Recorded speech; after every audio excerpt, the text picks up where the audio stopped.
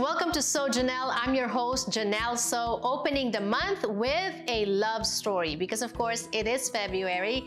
It is the love month. So today we have a love story of immigration and representation because that's what we are all about. Now, if you are familiar still or well connected to uh, Philippine show business, I'm sure you have heard of the names Jay R and Mica. JR has been reigning as the Philippines Prince of R&B.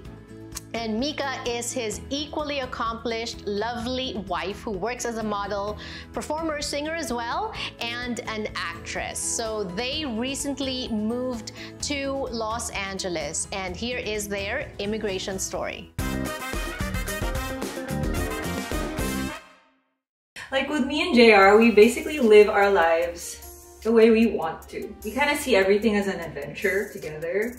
It's just so fun to explore and to build something more fulfilling with with someone that you choose to spend your life with. Jay R and Mica, thank you so much for coming and welcome. Thanks, Thanks, for having us. um, I know that I have heard you moved here. Was it 2021, 2020? 2021. Because 2020 was when you got married Yes. in the Philippines. And so that brings me to my very first question. You guys are accomplished in the Philippines. Prince of R&B in the Philippines and all the awards. I mean, you had your name out there. Why turn your back on that? I mean, we never really turned our back on it. We're just kind of prioritizing uh, my family at the moment, just spending more time with them, you know, especially after the pandemic. Um, kind of realize what's more important in life. I think turning back is the right term for it. It's more like um, we are grateful for what we established, our foundation in the Philippines, and everything that we created there. But it's also nice to be able to elevate from there and expand. For me personally, I've always wanted to come back to the US and try to uh, pursue my craft here again because I actually started in the US um, years and years ago after college. And um, it was it was always something that I wanted to explore again. And coming back here with a wealth of experience from the Philippines and the industry there is just feels better to be here now. Jay R, this is almost like a second migration for you. Born and raised here, you migrated to the Philippines and then you built a career there. And then a second time now moving back.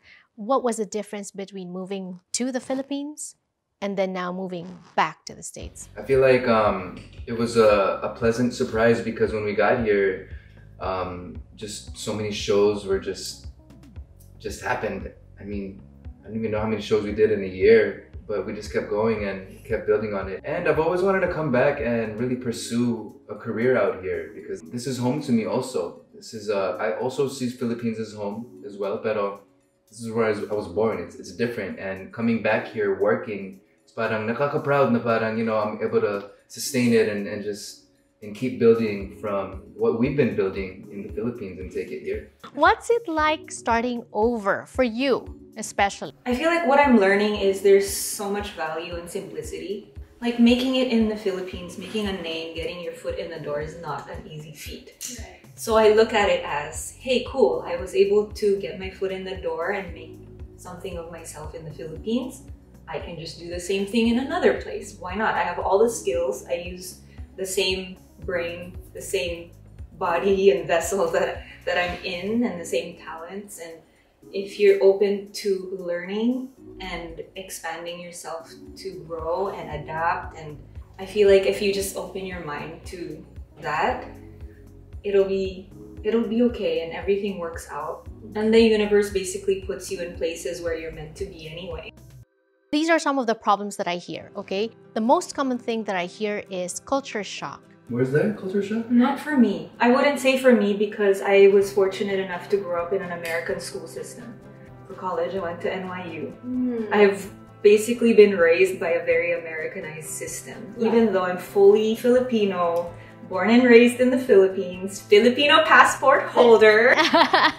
Nagtatagalog. Oh, nagtatagalog. And very ingrained in the Philippine world. Also. Homesickness though. Homesickness. family and Oh, friends. that's hard. I miss my family so much. Well, we're so lucky technology is where it's at now. Right. But I guess a tip that I would give to um, to other fellow Filipinos that move, you don't have to pressure yourself to to build or be in a community right, away. Right. You can do it very slowly. Even just finding a friend like or somebody that you can trust to help you out. Right. especially when it's like on a rainy day because we have to do everything ourselves here. All the chores, laundry, cooking, cleaning, everything. And if there's an emergency, you find those key people in your life in your new place or your, your new area where you're living because it's so important to have someone to call.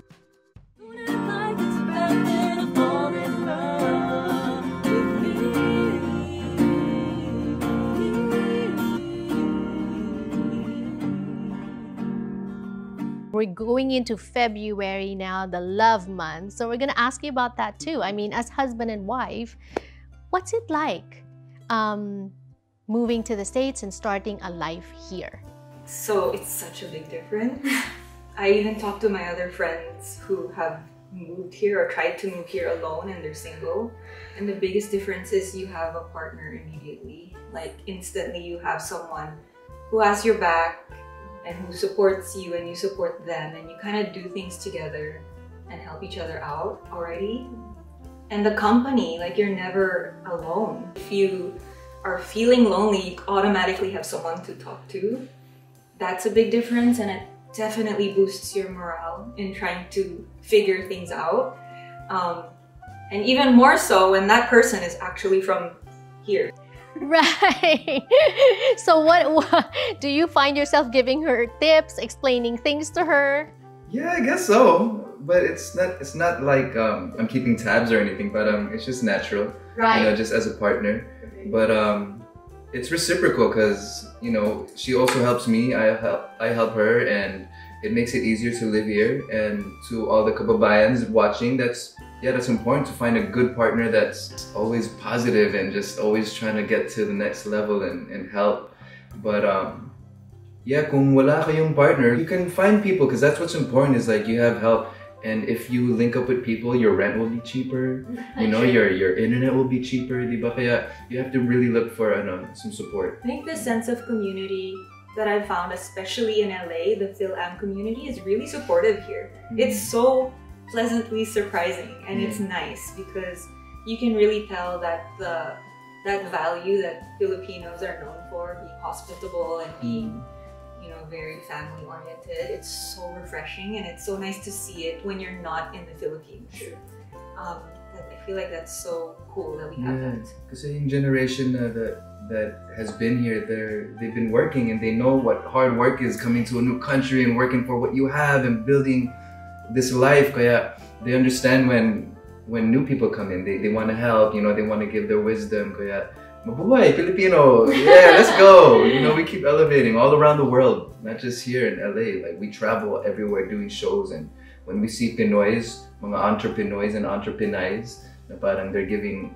um, their wisdom to the next generation. It's it's really nice. And it's so inspiring too because you really see people that work so hard and they build a beautiful life somewhere else completely for their families. And you're one of those people, Oh, and thank it's so inspiring to see your work too. Mm-hmm. Thank you, thank you. A lot of people also say that America makes couples stronger.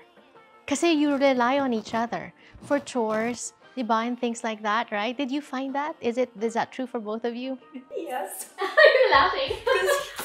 we have a lot of chores. Yeah. right. and he's always on my case about keeping my sp- our space clean.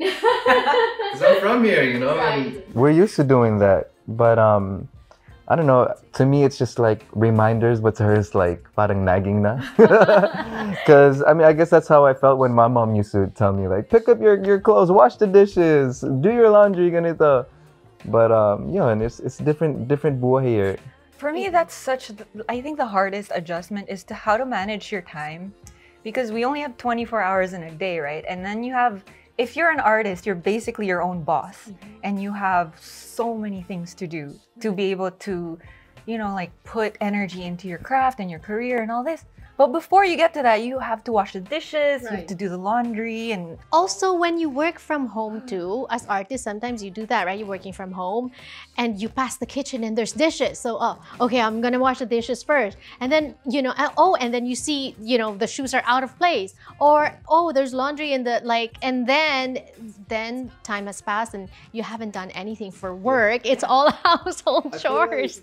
I feel like whether you're a, a lawyer, an artist, or a firefighter, or whatever, like you still have to do that. It's like There's here in America, you have to do it. It's not like the Philippines, you have a maid. Yes. You know, here it's just a necessity talaga and it's a way of life, really. and it makes me appreciate so much the lifestyle we have in the Philippines. Right.